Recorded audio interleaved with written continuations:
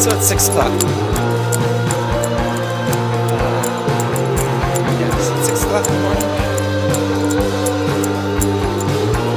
We're running to try and catch the sunrise.